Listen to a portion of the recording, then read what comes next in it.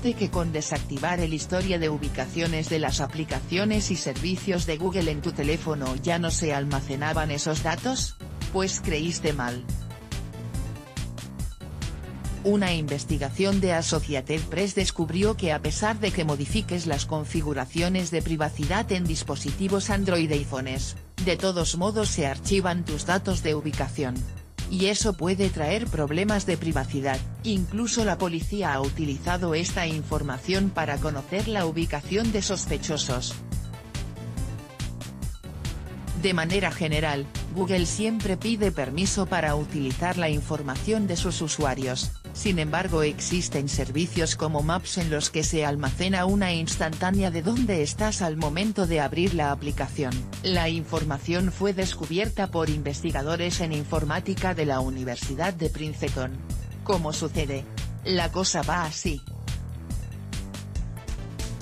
En el caso específico de Google Maps, la aplicación avisa a los usuarios que tienen el poder de permitir o no el acceso de la localización del dispositivo. Si permites que la empresa acceda a los movimientos y registre todos tus destinos, lo que hará Google Maps es mostrar el historial de movimientos en una línea del tiempo. Pero si no permites el registro, puedes pausar esa función para evitar que se cree la huella de los lugares en los que ha estado. O al menos eso dice la aplicación.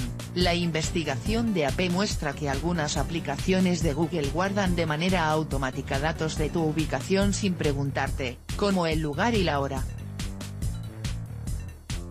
Cuando se busca información que no tenga nada que ver con la ubicación, de igual forma se marca la longitud y latitud. La recomendación, tanto para Android como para iPhone, es desactivar la función Actividad Web y App, acto que evitará que se guarde información de los lugares que visitas en todo momento.